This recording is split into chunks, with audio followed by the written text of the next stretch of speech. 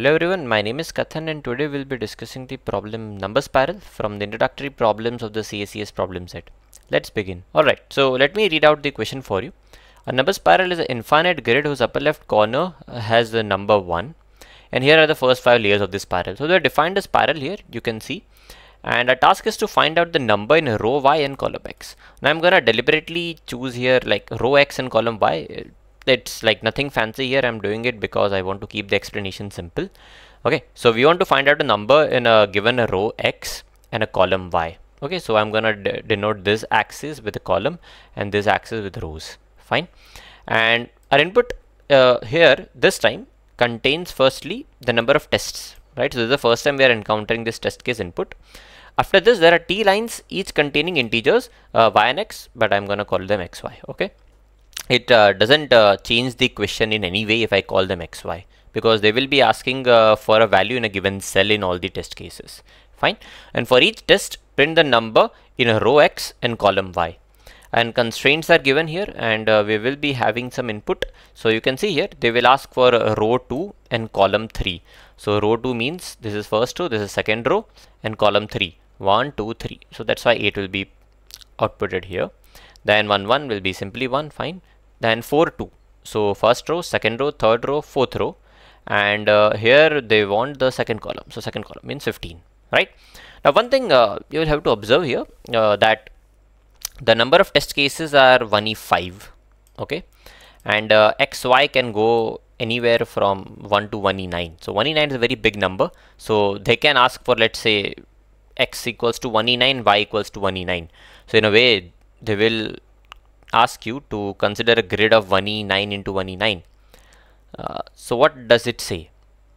If you traverse the grid once you will have to do these many number of operations right? So 1e9 into 1e9 that means around 1e18 number of operations. And plus there can be 10 power 5 test cases. So in the worst case there will be 10 power 5 into 10 power 18 operations even if you uh, decide to traverse the grid at least once so this comes out to around 10 power 23 number of operations which you definitely cannot do in one second. Right, so this is like clearly giving a hint, this constraint. You please figure out uh, some neat solution whether order of log n or log n means log 1e9 or something like log 1e23 or simply a constant time solution like a math trick in most cases in questions like this where there is like numbers and all grid involved uh, there will be some neat math trick involved.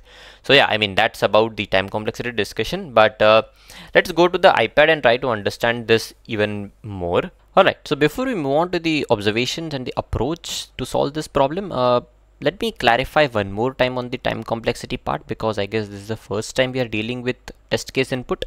So it pays well uh, to spend some time here fine. So the problem you can see that the number of test cases can be as high as 10 power 5 like 1e5 and uh, xy values as well uh, they can be as high as like they can be as high as uh, 10 power 9 right? So the worst case uh, you can be given an input where x is 10 power 9 and y is 10 power 9 so you can be dealing uh, with grids. You can be dealing with grids which are 1e9 into 1e9 so these are very large grids. Right so what I said is even if you traverse this grids once per test case the total time you will end up taking will be 10 power 5 for each test case. And for every test case even if you traverse the grid at least once you will be doing 10 power 9 to 10 power 9 so this actually turns out to be 10 power 18 number of operations. So all in all total will be 10 power 23 number of operations. So this you can uh, not do in one second in one second you cannot do more than somewhere around 10 power 6 7 sort of operations right? So this is not gonna work. So you'll have to come up with a smarter solution than traversing the grid uh, entirely. So the smarter solution in the sense you either come up with order of one solution or the order of log this 1e 18 something. Like this is uh, expected time complexity per test case. That's what i talked about right? So we'll have to come up with a smarter solution like this. Fine there is one more uh, question for you. Like you know uh, how to convert from this 10 powers to 2's power right? I discussed it in uh, previous video or maybe a video before that. But yeah so can you tell me like what is this log 1e18 in the comment section right now? Very quickly okay? So just a hint 2 power 10 is nearly equal to 10 power 3 so yeah. Any which way the expected time complexity uh, per test case will be order of 1 that was the whole point. All right let's try to make some observations from our spiral matrix First things first, like we have already made it clear that x goes along the rows and uh, y will go along the columns, right? So uh, just a bit different from the question, uh, what is given in the question. In question it is given yx, but here I'm gonna consider xy, but it, this doesn't change the equation at all. Fine. So you can look at the matrix and you will quickly see that uh, there is 1 here, fine. Then we have 2, 3, 4. Then we have 5 to 9. Then we have 10 to 16. Then we have 17 to 25 so these are you can say sort of spirals of our matrix uh, hence the name spiral matrix right? Let's just call these you can say spirals or layers right? So let's come up with the terminology here. Let's call these as layers. In the sense uh, this is layer 1 this is layer 2 layer 3 layer 4 layer 5 and then and if someone asks you a cell for example this 14 it will always lie on a layer right? This 14 lies on a fourth layer. This 21 lies on the fifth layer this 9 lies on the third layer. This 2 lines on lies on the second layer. Right? So like you will be asked uh, a cell on one of these layers. Fine. Uh, what else uh, can you make some more observation? Yes definitely. You can see here uh, if someone asks you this 23 what is this 23 this 23 is actually 3 5 so how did you get this 23 you just subtracted you just subtracted 2 from 25 this was 3 you subtracted 2 from 25 fine. Okay. What about this 21 what about 21 it was 5 5 right? So you subtracted 4 from this 25 or maybe you just added 4 to this 17 fine. Let's take one more example here. For example let's say this 7 the 7 lies on third layer right?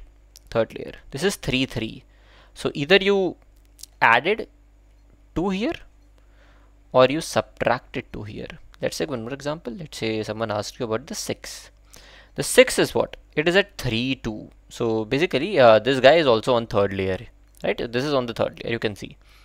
How did you get this 6 you added plus 1 right? So this was 2 and you added 1 here. Fine. So what I'm trying to say here is uh, whenever like you will be asked a cell let's say this 12 it will lie on one of those layers right? It will lie on one of those layers. And depending on let's say this 12 and depending on whether x is you can say less than equals to y that is this portion right? So in this portion x is less than equals to y or x is greater than y. So if you want if you're confused what I can say is uh, let's just call it x can either lie on this portion when x is less than equals to y. So this is you can say the vertical line of a spiral or you can say a layer or it can lie on this part. So whenever someone will ask you a target cell, firstly it will be on one of these layers, right? It will be one of these layers and on that layer too, it will either be the case that x is less than equals to y, right? In this case you can say 1, 5, 2, 5, 3, 5, 4, 5, 5, 5. So it can be either x is less than equals to y, that is on this vertical line, this purple line, or it will be on this horizontal line. And uh, now that we know that uh, either uh, you will have to deal with this vertical lines or horizontal lines let's just uh, go step by step right? Case by case. Let's say someone is asking you to find a value on this vertical line. You can say the vertical portion of a spiral. So uh, let me just highlight those things. So it will be either this right? So 25 24 23 22 21 or you can say here 10 to 13 or this portion here right or this portion. Right or year 1 fine doesn't really matter. But yeah let's say if someone asks you a value here. Now what do you see? For example uh, here you can clearly see if it is you can say the y value is odd you have to subtract something from y square right? You have to subtract something from y square right? You can clearly see here. This is what y is 5 so you have to subtract something from 25 y is 3 so you have to subtract something from 9 right? What is that something actually? If someone asks you this 3 3 you have to effectively subtract from 9 2 for example if someone asks you this 23 you have effectively subtract from this you can define to find 25 what? Someone is asking you 3 5 so you have to subtract 2 right? So it's very simple here uh, that you can see that uh, if y is odd if y is odd then what you have to do is your answer will be uh, let me just not block my screen uh, your answer will be y square right 25 minus x minus 1 simple right? So if someone asks you this 12 sorry uh, I'm dealing with the case where y is odd. Someone asks you this 22 then it is simply 25 minus what? This was 4 right? So 25 minus 3 right if someone asks you this 21 so it is what? 5 5 right? So 25 minus x minus 1 4 so 21 let's take one more I guess. Uh, this 3 right? Uh, not 3 uh, let's take this one 8 this is what? Y square right? Y square minus 2 minus 1 which is 8 right? Makes sense? Similarly uh, what happens if y is even then? Let's see y is even then what happens we are talking about these cases. This case this case. So what is this uh, 2 uh, 2 maybe you can say 1 plus 1 fine no problem. But 10 you can definitely see right? So it is what? 9 plus 1 right? Similarly like if this is 17 to 25 uh, you know that uh, like 17 25 then it's gonna start from 26 right? So it's gonna start 26 here only. 26 to whatever the numbers are like 26 27 28 29 so on so effectively if y is even you know uh, that you have to add something to what? y minus 1 square plus 1 and then something right? So you have to add something. So here if y is even you have to add something to y minus 1 square plus 1 right so here you have to add something to 10 what is this 10 this is y minus 1 so this is first 4 right? Y minus 1 builds 3 so 3 square 9 plus 1 10 you have to add something. So here to get this 11 you have to actually add just 1 right? To get this 12 you have to add this was 3 4 so you have to add 2 right so effectively uh, what you have to add is here also x minus 1 so effectively the answer becomes y square minus 1 plus x right? Simple right? So it's very simple. If if y is odd then you have to subtract something from y square. And what is that? It is actually x minus 1 right? And y is even. You have to actually add something. You actually have to add something to what? Y minus 1 square plus 1 y minus 1 square plus 1 you have to add.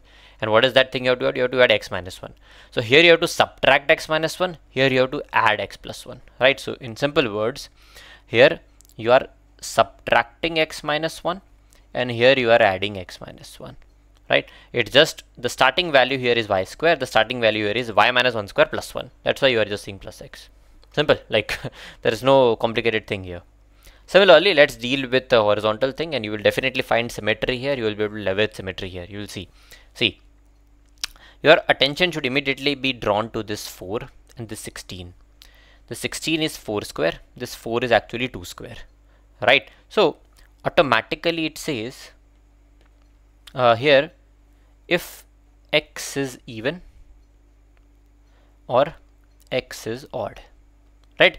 If x is even if x is even you are subtracting something from x square you are subtracting something from x square and what is that you're going to subtract if it was here x minus 1 here it will be y minus 1 simple so here your answer will be from x square you are subtracting something right? So from x square let's say to get this 14 let's say to get this 15 what will you subtract? You will subtract y minus 1 right? So from x square you're to subtract y minus 1 right? Similarly similarly here in this case in odd case in odd case what is this uh, like what is the starting value that you have to add something to right? In odd case you will have to add something right? What is the starting value x minus 1 square plus 1 right? So to x minus 1 square plus 1 you are going to add what? Of course y minus 1 right? So it will be simply y. So simple logic. Here you are gonna add y minus 1 right? And here you're to subtract y minus 1 same logic. So I mean uh, that's about this question I guess. It's done and dusted. So depending on uh, whether you are on this portion or this portion. This portion we will divide right? So we'll either take this branch or this branch right?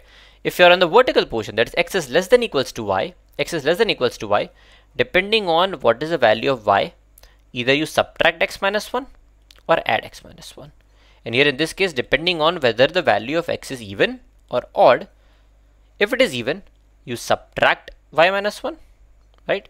If it is odd you add uh, you add y minus 1 to the starting value. What is the starting value? This will be actually x minus 1 square right? So simple i guess uh, what is the time complexity here? Like this question is done and dusted here right? First split based on the vertical horizontal and then split based on uh, whatever the value of uh, you can say the reference cell is right? So whether it is here even odd or even odd right so I mean uh, that's about this question the time complexity. Is simply order of one per test case and let's just go through the code part and we can wrap this video up. Alright so here's the code. So first things first here we are taking the test case input. We go through each of the test cases. Depending on whether we are on a vertical line or horizontal line we will make you can say will make the calculations. So vertical line means the borders borders cell is on top right. For example if you are here this is your reference cell right? So this is your reference cell. So that's what i'm saying the border cell. And if you are here your reference cell or border cell will be on uh, bottom left. That's what i'm saying. So here if this case y is even y is even your answer will be what? y minus 1 square plus something right? So plus x. And uh, if it is odd then it will be y square minus x minus 1 similarly on the horizontal line values also I guess this we have already seen. So for example if it is even you are going to subtract y minus 1 right and if it is odd you are going to add y to it simple and uh, add y to it means actually you are going to add y minus 1 to it but since the value is x minus whole square uh, plus 1 uh, it 1 1 gets cancelled out and finally you can just print the answer I mean, uh, yeah, I mean, that was that about this question and about the time complexity. It will be actually equal to order of t. Why? Because this thing doesn't consume more than uh, order of one time. This internal thing for each test case doesn't consume more than order of one time because it's just some calculation based on uh, where we are lying, whether horizontal, vertical, then what is the parity of x and y. Fine. And order of t means it will be order of uh, 1e5 right and space complexity is order of one we are not consuming any extra space and yeah i guess uh, that's that about this video so this was a bit of a pattern based or pattern recognition based question i hope uh, you actually got something out of this video. If you did uh, please write understood in the comments. If you have any doubts please let me know and i'll see you in the next one